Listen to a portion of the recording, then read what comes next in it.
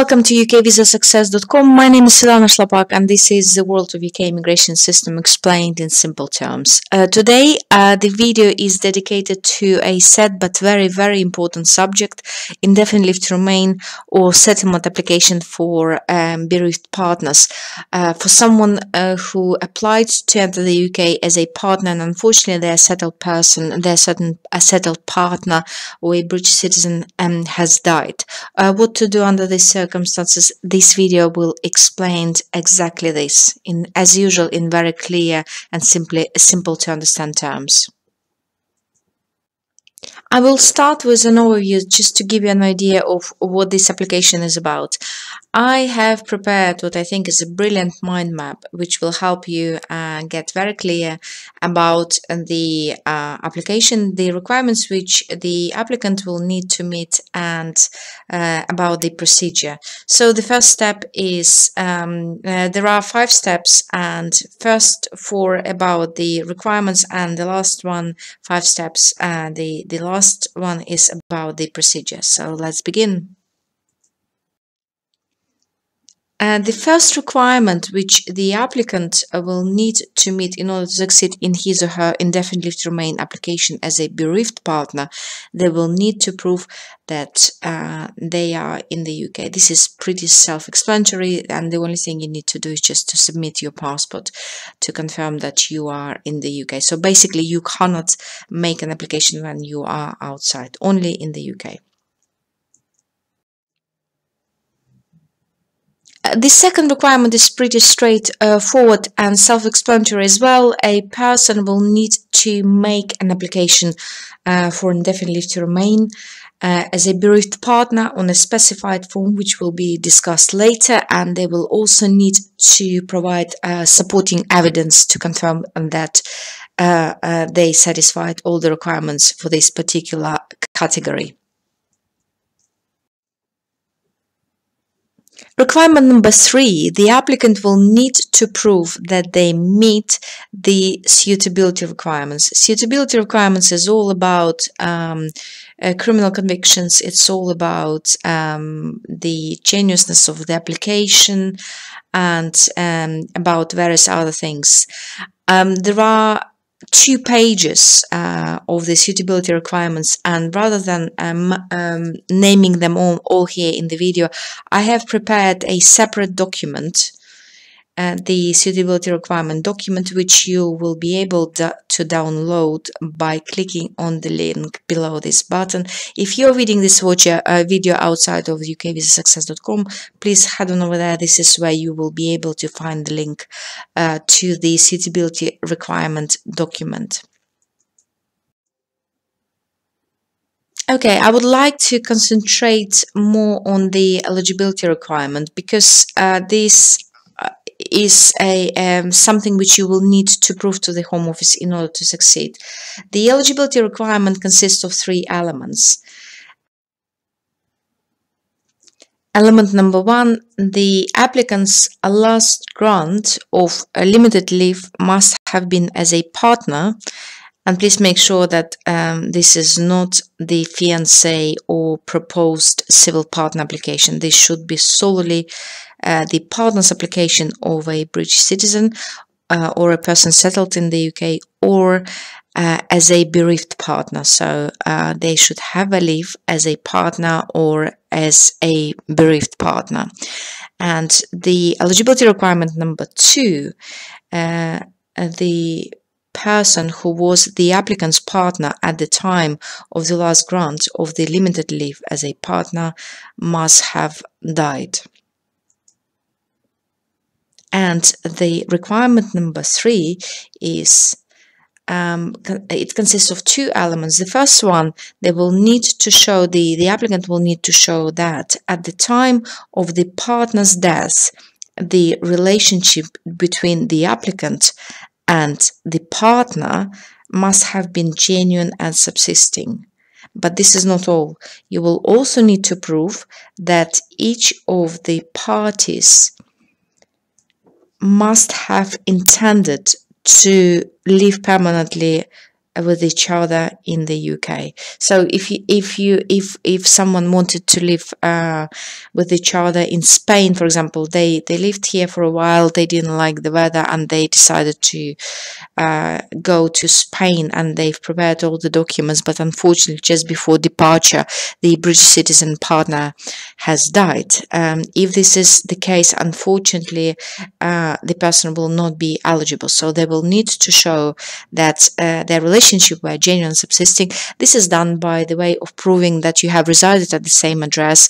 And probably if your case is a bit tricky, I would probably make sure that I submit further evidence such as statements from friends uh, if necessary, if you think that it may be questioned in any way.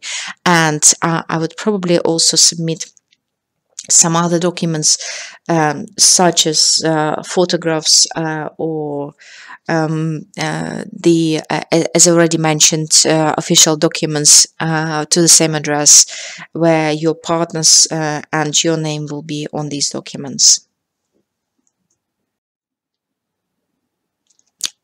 In my videos i keep asking the same question. I keep asking you uh, a question about um, ben nevis mountain. If you are about to climb ben nevis mountain uh, what will be the most important stake to take step to take? Is it the first one, the middle, the last one? And the answer is, of course, it's the next one. So you cannot skip really any steps in order to succeed uh, in your application. And therefore, the procedure is uh, not least important uh, key element. It is the key element, and it's very important for you to understand the procedure. Uh, and this will be summarized here. Uh, first of all, uh, when can you apply? you should apply as soon as possible uh, uh, after the death uh, of the loved one. So, as soon as you can, please make sure that you make the application. Um, another question is uh, to, to, to address is who can apply? Uh, only those applicants whose partner has died at any point during the qualifying period of limited leave as a partner. It can be either entry clearance or leave to remain. Also, where the applicant's partner dies after an application for indefinite leave to remain, uh, you can also make this application. Why would you want to make the application when you have uh, uh, already submitted uh, the application for indefinite leave to remain? And the answer is simple.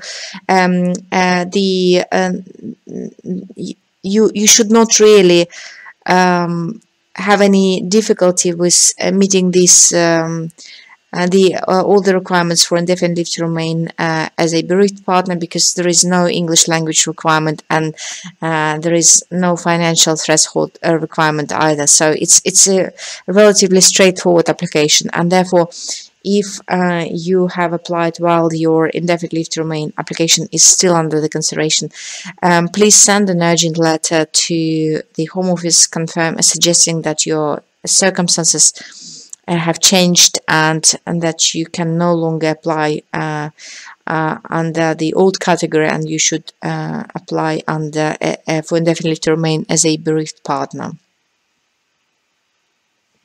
How can you apply? Um, you should make your application on a set O, S-E-T brackets O application together with all the supporting documents.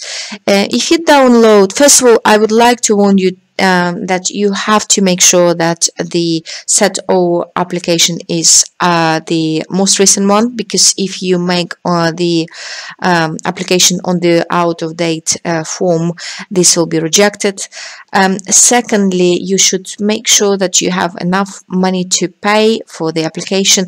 Uh, at the time of recording of this video the, the, the, the fee is 1,845 pounds. However this does change on an annual basis basis and therefore please make sure that you um, submit the correct fee when applying and you should also submit all the supporting evidence uh, confirming that you clearly meet the requirement. And this is it. Uh, this is all you have to do in order to succeed in your indefinite leave to remain set or settlement application as a bereaved partner. And here is my brief summary for you. Uh, the first key element is that you will need to prove that you are in the UK. Uh, the second one is that you have made a, a, valid application and the application will be valid if it's uh, uh, done on the uh, correct application form which is set O and, and, that the form is not out of date. You have submitted the correct fee and you have also submitted all the supporting evidence to help the decision maker uh, establish that you clearly meet the requirements key element number three, you meet all the suitability requirements. And once again, um, you can download uh, in order to have an idea what these are from uh, my website, which is ukvisasuccess.com. And the uh, last element, very, very important one, uh, the eligibility requirements, which consists of uh, three things. Number one, uh, you will need to prove um, that you are a partner um, uh, a British or you were a partner, uh, you were granted uh, leave to enter or remain as a partner of a British citizen, or a person who is a who is a settled uh, who is settled in the UK, uh, or um, you were granted leave to remain as a bereaved partner. The second eligibility requirement, you will need to prove that, um, unfortunately, the British citizen partner has died, and the third one, consisting of two uh, elements it's uh, you will need to prove that your relationship at the time when the person has died were genuine and um, that you had intention of living together um, permanently in the UK.